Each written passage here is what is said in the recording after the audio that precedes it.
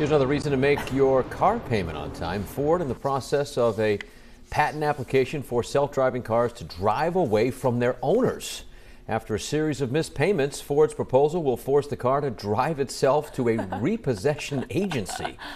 Having the car drive away would be a last resort. The patent application shows Ford would first pressure delinquent owners by disabling some of the car's features like the air conditioning or having the audio system play unpleasant sounds.